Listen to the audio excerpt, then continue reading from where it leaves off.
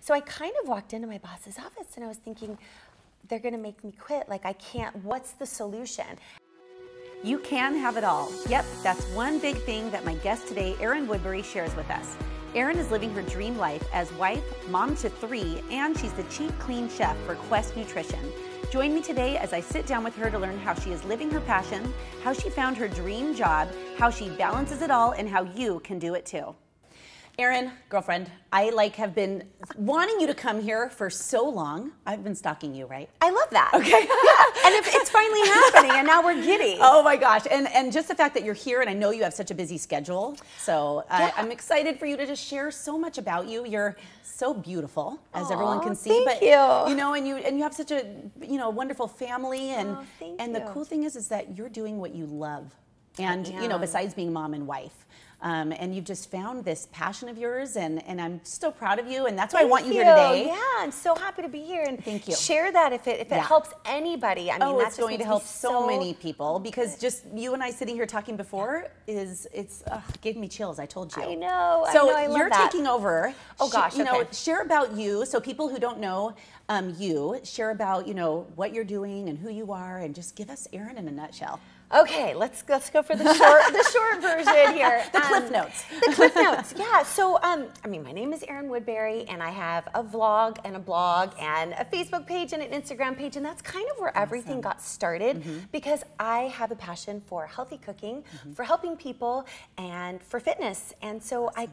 I've been working on a way to marry all of those things, and in the process, I've tried the entrepreneurial route, and I've worked for other people, and all of those things were great, and I've learned so much, and I've gotten a great education along the way. Mm-hmm. But I was really looking for that thing where I could say, you know what, I'm, I've got the perfect marriage of my passion and my purpose, Right. and then time with my family, and I can honestly say that right now I'm living that. I have that.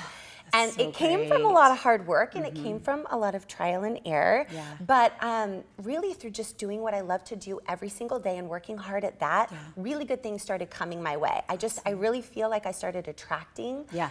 All of that. Mm-hmm. And then I've been really blessed to have my dream job. So I work at Quest Nutrition. But you know, that that's really like what my I want my message to be is mm-hmm. that, you know, you can work for somebody else. Actually, let me reverse. Let me say that I really think you can have it all. Yeah. And that was a statement to the contrary that I made about two months ago. And so, um, you know, the backstory in that was I, I had this dream job. I was working at Quest Nutrition, doing what I love to do, cooking for them, making making um, cookbooks, working on the 15 second recipes, and getting my creative energy out all the time. But it came at a price, and I wasn't home as much with Right. my family. And you have three kids. I have three What are their children. ages? They're- 13, or four, she just turned 14, 14, 9, and 3. Those are busy years. They're busy years, and I have the most amazing husband who, like anybody who's anybody wants to spend time with. He's he's smart and funny, and I love being with him. Mm-hmm. And I just realized I was commuting up to LA. Four days a week and working from home one, and as passionate as I was about this job, I realized that something was, I was sacrificing something. Right. So I kind of walked into my boss's office and I was thinking, they're going to make me quit. Like, I can't, what's the solution? And I remembered something that Chalene said at a conference, and she said, You'll never know unless you ask. You just have to ask. So I went in after working for, for full time for about eight months, and I just said, um, I'm feeling like my family really needs me. And without hesitation, the president of the company said, Tell us what your ideal situation is, and we will make it happen. And that's when I said, I know I can't have it all. And he said, But, but you can. And so Makes me wanna cry. I know because, Yeah. and I did Yeah. a lot. Um, but that's what I realized was, you know what? I need to dream bigger for myself first of all, and then I just need to ask, Mm-hmm. and then figure out what all those things were. So we were talking earlier, and I was saying, um, you know, I really had to identify what do I want Mm-hmm. and what do I need. And um, when I identified all those things, I wanted to keep working. I wanted to keep feeling like I was contributing and making a difference. Mm-hmm. And then I needed to be with my family. So I brought those two things together, and now I work two days a week at the office, which is great. That's I work one day a week from home, which is awesome, and I'm also home more. That's so great. So all of those things have melded together to, to bring me to this place where I'm like so fulfilled Yeah. and and really living my dream. Ugh, that makes me want to cry, first of all. I'm so proud of you for asking. You know. never It's so scary and it to could be the littlest thing in life, or something that's going to be life changing. Yeah. I always tell my kids, you have to ask. You do. You have to ask. You never know. And and because of the president um, doing that for you, I will forever be a customer because Right? valuing family is huge. You know, for me, and my loyalty always stays with companies that you know value family. So that's They're the real deal. And Yeah. and you know the, the the two of us were chatting a little before this, and you know we've gone to Chalene Johnson's amazing Yes. programs, Smart Success, MIA, and I always tell everybody I know you you have to attend live seminars like that. Oh, you know, totally. especially if you're wondering, you know, what you should be doing. You know, and um, and both of us have learned, you know, it's really great to be your own boss. I preach that all the time. Yeah. However, not everybody wants to. They want to do what they love, but they don't want to be the business owner. So for you, did you think that you wanted to be your own boss for a long time or I did, and and there are parts of me that still do, and I don't think that that's out of the question. Right. But because I've done both programs, so Smart Success and identifying my priorities. If my Yes. true priorities are my children. Creating a business that you don't necessarily need to do uh, right now, Right now, um, might not be the best thing. And I, I felt a little pressured inside to make it happen. Right. I didn't exactly know the direction I wanted to go. I knew that I can make awesome recipes. Like I'm super good at what I do. Mm-hmm. Yes. How can I bring that to the masses and create a business? There are some avenues that I can do that, but um, the process that it was, the toll that the process was taking on me, Yes. and the late hours that I was spending, and how distracted I had become, really took me away from my priorities. Mm-hmm. Right. And so again, when I looked at what I needed and what I wanted, and how fulfilled I already was, Yeah. I realized that right now, Yeah. being an entrepreneur is not right for me Right. right now. But in my mm-hmm. toolkit, I've got all those Oh, things, yeah. and they're never going away. No, no. Like my toolkit is chock full. love it. and I will always go to those seminars. Yeah. I will. Oh, keep, Oh, always. I will keep mm-hmm. going and paying and and being in that environment mm-hmm. of all those just go getters Yeah. because that to me is constant learning. Oh, right. And and I need to be learning and to be all the time. surrounded by all of that positivity and you come back you're just like oh my gosh and even at quest you're going to be a better employee because Yes. all of what you've learned I don't ever want to be complacent. And Yeah. So that's what that mm-hmm. does for me. Yeah. And so, yes, I have my blog and I can continue with that. And there are some ways to monetize that. Yeah. But I don't necessarily have to be this huge entrepreneur Right. where that's where I'm going to invest all of my time Right. because I'm getting the fulfillment I need Yeah. in those other places. So speaking of getting your fulfillment, you are an amazing chef. You know, I mean, just it's crazy. You're part of this cookbook. I Hello, am. that's amazing. It's the Quest Cheat Clean Cookbook. It I is, love and we're coming out with version two, which actually, um, the other side of what I do and what I went to college for, because I didn't Yeah. go to culinary school. Like Okay. I'm totally self-taught. Wow. So the funny irony about what I do is that I, I went to college and got my bachelor's degree in English and I got my master's degree in education, Yeah. and yet I roll into this position where I'm totally self-taught, Right. and so it was just me working for them um, at the time. We've since hired on a couple more chefs, and they are classically trained chefs. So I'm learning a lot from them. right. But the nice part is I get to use my education, Right. and I am now one of the editors for the cookbook. Okay, hello. So that's pretty That is cool. sick. So I'm actually in the throes Oh of version gosh. two for our next round of cookbooks. So not only are you contributing to the recipes, but you're helping with the writing. And then I love in the is it Erin's Test Kitchen?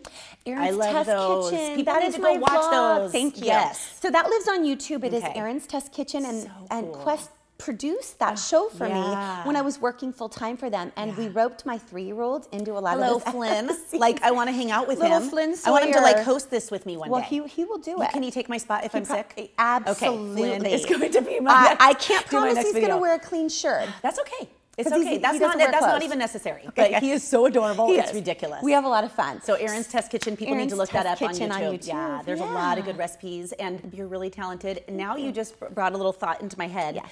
Your so the way you found your job through Quest, Yes. hello, is by putting your stuff out there on Instagram. I did. Like I just amazing. put it out there. So this is this is kind of a testimony to anybody who Yes. just doesn't really feel like they can, I don't know, make a difference or, or get their name out there. Mm-hmm. But um, my 12 year old at the time, Ashton, my daughter, was like, "Mom, why are you just giving away all your stuff on Facebook? Like, I love the impersonation. You need. Right. You have a teenager. You need to do it on Instagram. So fumbling through, I figured out my way on Instagram, and I started posting. And then my little one would teach me the different hashtags that I needed to use. And Are you kidding? I, she did. She did. Before so Chalene came along, Yeah. along and really taught me how to do it, I was getting help from my, That's my preteen. We can learn from the teens. really yeah. It's Mhm. They know what's going They're on. so smart. Yeah.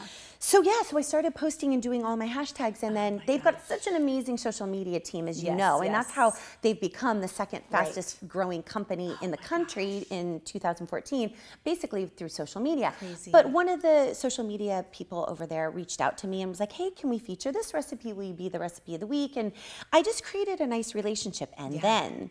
I knew that they were going to be at a conference that I was going to be at, and I was like, well, I might as well make them a pie. Yeah. So I did. I made them a, a coconut cream pie, and I made them a sweet potato pie, and I, I just brought it in a little box. And who else was there? Of course, was all the bigwigs, and it was Quest creator herself, herself Shannon Penna, who actually created the Quest bar. So I was having like a geek out moment when I met her, Yeah. and um, was just on and on and on and on. But we really hit it off. And so I just, again, that's just a lesson to put yourself out there. Yes, you were brave. Right. But I had no hesitation. I just did it. I had nothing to lose. Two weeks so later, awesome. I got an email saying, Will you come into Quest? We want to meet with you. And it was a full on um, job interview, which Oh, I had no, I. I was not prepared for this at all. I would have brushed up on my interviewing techniques, Oh my but gosh. I just went in there and they just rapid fire started asking me questions. Mind you, I wasn't looking for a job. Right. Like I was a mom, but at that time I was really struggling because I was going through all the entrepreneurial stuff and it wasn't jiving completely and I wasn't all that happy and I was staying Yeah. up late at night and I was wishing my mantra at the time was, well, who's gonna pay me to cook? Yeah. I kept Oh saying that to myself all the time, which is even more chill worthy because they said, We would like to pay you to cook. Oh so I started making recipes one day a week because my little guy was one at the time, Okay. so or one and a half. So I started making recipes at home and driving them up to LA, bringing them. They would taste them there on the spot. They'd say, "This is a 15 second. This is a 15 second. Work on this one. Work on this one. Bring it back." This I'd go home. story. I know. Oh I'd my go home. I'd do it all again, and then I'd come up the next week, and that turned into one day a week, and then Oh it just grew oh my from there to where it was like, "Can you please come work for us full time?" That's amazing. To which I said no at first because I was like, I've got this family. What am I going to do? And then my husband looked at me one day and he goes, You are so happy. He goes, You are the happiest I've ever seen you. You can't wait. He goes, I don't know many people who literally wake up two hours before they need to go to work going, Can I go yet? Can I go yet? Can I leave my house That's yet? so cool. It was. And he goes, You have to do this. You have to take it. And he goes, I know what it's going to mean. I know it's going to mean it's going to be a strain on our family, but we'll figure it out. He's a figure it out kind Mm-hmm. Yeah, of guy. like him. And that's what we did.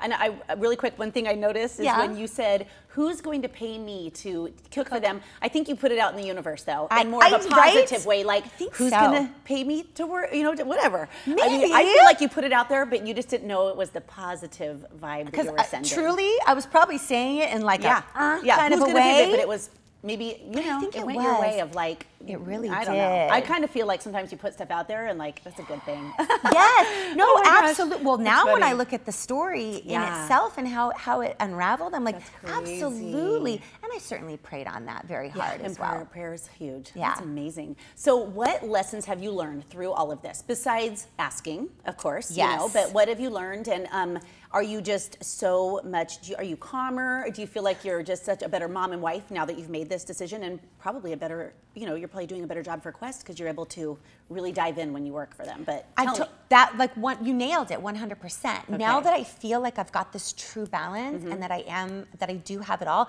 because I still teach fitness classes on the side and what we were Which I've talking been about to, before your you class, have, and that- you're an amazing so funny. instructor. You're an amazing instructor. Thank Okay. you. Mm-hmm. But I, at the time, like I was teaching 12 classes a week and I was very scattered and I was all over the place and I was just trying to earn money, even though I loved what I was doing, but you can't have too much of a good thing. You'll beat your body down. So now I teach four glorious, beautiful Yes. Classes a week that I love. And you're fully there, I'm present, and loving it. fully I'm there, sure. And I'm fully there with, when I'm at work, and you're I'm fully there is- when I'm oh. at home. So I think I think that's, That's a huge lesson is to be fully there. yes. Like I found my one true thing. So what is that one true thing that you need to do every day to get you closer to your goal? Yes. Um, I used to pride myself in being such a fantastic multitasker. Mm-hmm. Multitasking is not where it's Right. at. So I'm trying to find that one true thing, even if it isn't the thing that I want to do. If it's the thing that's the most important, Right. that will get me closer to crossing more things off my list, Good. rather than trying to tackle seven I at once. so I become I'm a huge lot fan better of at that.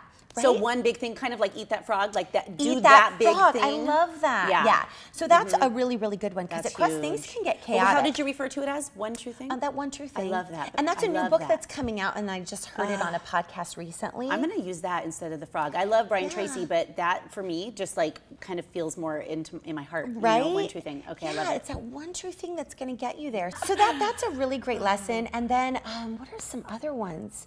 Uh, just surround yourself with really, really smart people Oh, who are constantly bringing you up. And Mm-hmm. and so much of this is a mindset. This is a book that I'm reading right now that again, Which one? highly recommended. It's called Mindset by Okay. Carol Dweck. Um, she was actually just featured on the president's um, new show called uh. Inside Quest. But it's it's changing that mindset into thinking that you you can't change things, but you but you really can. Mm-hmm. Oh, yeah. And it's it's a growth mindset versus a fixed mindset. Yeah. And so I was very much in a fixed mindset kind of a way. Like I'm I'm only going to be good at this because or math just isn't my thing. And I've totally changed my way of thinking and I'm growing. So now I've got a growth mindset which just allows you to grow exponentially. I love it. And um, yeah, so that's that's my other little Ah, tip. And those are huge from tips. Quest. They're, it's big. Mindset What a is wonderful everything. company. I am seriously I know, I know. Gosh, that's great. And um, and then uh, what's next for you? So where where can we find you? And you know on Instagram, like what's your So are you- Living Lean with Erin at Okay. Living Lean with Erin on Instagram, and that's Okay. where just I, I post my fun recipes. I used to do like three a day. Oh, boy. Now that I'm working, I'm at like four a week. Okay. Um, and But they're focused and they're everything really is focused. Yeah. as cute as my kids are, you're not going to find my kids on that. You're Right. just going to find my recipes. Yeah. Um, on my Living Lean with Erin page on Facebook, it is recipes mixed in with tips, mixed in with how do you go to the grocery store, mixed in with a little video on how to make mock fried rice out Yeah. of cauliflower rice, like Oh, all of that so quick stuff. And that's more bringing my health background and my fitness and merging that Mm-hmm. With the nutrition. And then, of course, Erin's Test Kitchen, which is just on hiatus right now, just because. But we should still go check them out. Because, Yeah. Hello, Flynn's adorable, Flynn and the recipes are so words. fun. I'm so proud of you. Like, Thank you. And you just light up the room when you walk in, and I think it comes from within. I Thank could see your happiness like in your eyes. You know Thank what I mean? I so really, much. really do. And um, I've learned a lot from you today. Really? Yeah. That means so much Oh to my me gosh. coming from you. I like really have learned a extreme lot. motivator. Yeah, yeah. Thank you. Extreme motivator. Oh my gosh.